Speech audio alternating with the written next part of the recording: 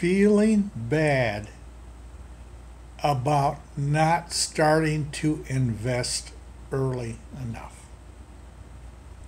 I never gave investing any thought. when I was a young guy, nobody invested that I knew.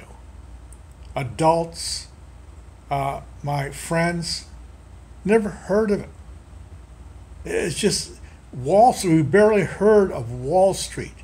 Maybe every once in a while, six months, you'd hear a reference to it. Now, there's no chance I could have started investing then. I never heard of it. Do I feel bad about that, that I missed those years of investing, which would mean I would even have more money today? I, I don't care. That's the past, it's gone. I like to think of myself as just having gotten out of prison.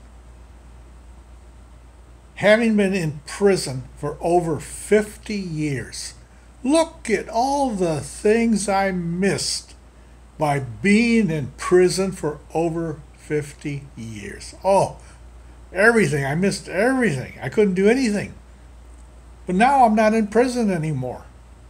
That's the way I feel. I'm not in prison anymore what happened back then, my prison time, theoretical prison time, it doesn't mean anything today. It's gone. No matter how bad it was, it's gone. Uh, you can say the converse uh, thing about how good things were in the past compared to today for you personally. It's gone. It's over. It has no meaning, no reference to today.